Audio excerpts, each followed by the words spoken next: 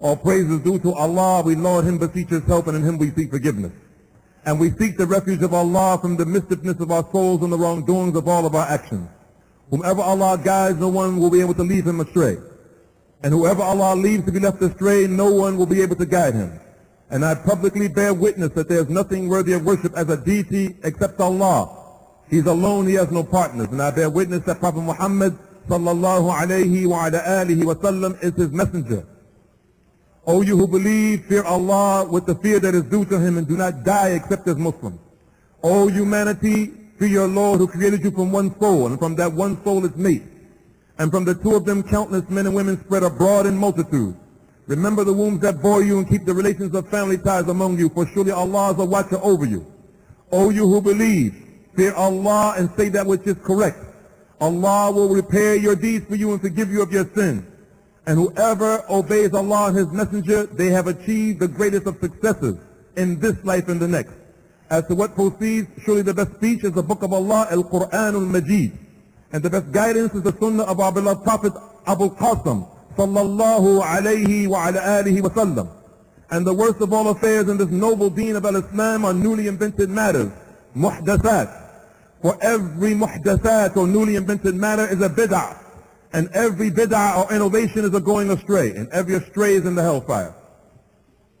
Allah subhanahu wa ta'ala says in his book, ألف لام ميم ذلك الكتاب لا ريب فيه هدى للمتقين الذين يؤمنون بالغيب ألف لام ميم these letters of which only Allah knows the meaning of and no human being, sheikh, mullah, mufti, alam, angel, jinn, no one knows the meaning of these letters, alif, lam, mim, or the letters that are like them like Taha, Yasin, Qaf, Noon, and the like.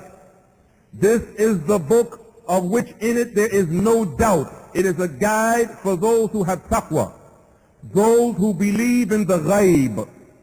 And the ghaib are those things that are hidden from our view, not necessarily unseen, but those things that are hidden from our view. It is a part of our iman that we believe in those things that are hidden from our view. And if it were not for the Prophet wasallam being graced by Allah Azza wa Jal, who sent down the Quran to him to teach us the Quran and guide us by the Quran and inform us of those things that were hidden from our view, we would have not known that there was interrogation in the grave. We would have not known that there is Munkar and Nakir who ask those questions to angels or that there is punishment in the grave of which we should seek the refuge of Allah from every day in our prayers before the taslim. We would have not known about the sirat, the bridge, which is over the hellfire, extending into insha'Allah and leading that person into Jannah, that people will be walking over quickly, some will be going over the speed of light, some that will be going over the speed of wind, some like galloping horses, some running, some crawling. We would have not known about the mizan, the scale of which our deeds will be put on. We would have not known about the angels themselves, and we would have not known about the jinn. And among those things that Allah created are the jinn. And unfortunately to many Muslims, upon many Muslims, is that they take the reality of the jinn, which is part of our belief in the angels. Because we say that we believe in six pillars of Iman. We believe in Allah and the angels and the books and the messengers and the divine decree, the good and evil of it, and the resurrection after the death. As a part of our belief in the angels, connected to the belief in the angels, is the belief in that creature that Allah created from fire, that Allah subhanahu wa ta'ala created from smokeless wind, that creature called shaitan and his junud, his jinn. And from among those jinn, Allah subhanahu wa ta'ala has both believer and disbeliever. It is unfortunate upon some Muslims who deny the existence of the jinn. And it is also unfortunate upon some Muslims who don't deny the existence of the jinn, but they make ta'wil, or they make tahrif, by giving the jinn another meaning other than what Allah called it in the Quran, or what the Prophet sallallahu alaihi wasallam, when he explained what is the jinn. The jinn is not a human being. The jinn is not microorganisms. They're not microbes. The jinn is not an individual who has weak ideas, wrong thinking, and lies. The jinn is a creature that Allah created.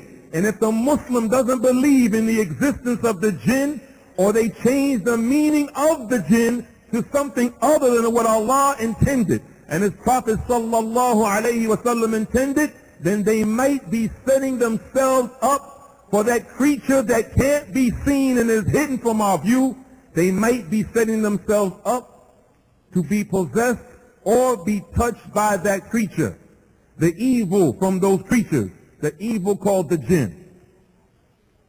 Allah subhanahu wa ta'ala has also revealed in his book and has also commissioned his prophet through wahi, through revelation, to inform us another part of the world that can't be seen except for the physical effects of it. And that part of the world that is unseen or hidden from our view is magic. And those Muslims who deny the existence of magic and deny the existence of sorcery and witchcraft, they are also setting themselves up to be touched by the shaitan from among the jinn and or the men and they are also setting themselves up to be affected by that sihr that Allah Azza wa Jal mentions in his Quran in many places in the Quran that even the messenger of Allah himself the messenger of Allah al-Mustafa sallallahu alayhi wasallam was touched by for those people who have a denial and a rejection and a repudiation of this existence of jinn and magic. The messenger of Allah himself, sallallahu alayhi wasallam, was touched by it.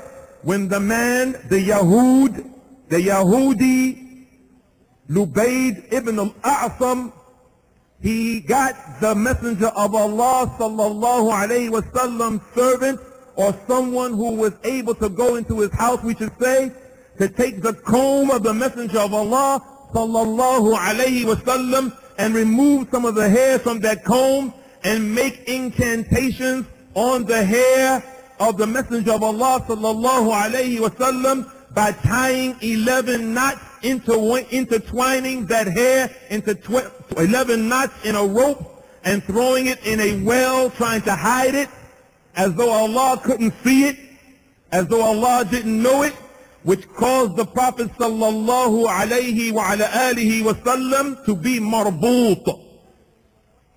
It caused the Messenger of Allah sallallahu alayhi wasallam, the one that was able to go to all nine of his wives and be intimate with them in one night. It caused the Messenger of Allah sallallahu alayhi wasallam to not be able to go to his wives the way he normally did in the past. And it caused the Messenger of Allah sallallahu alayhi wasallam's vision to be blurry. And it caused his stomach to be a little upset and queasy.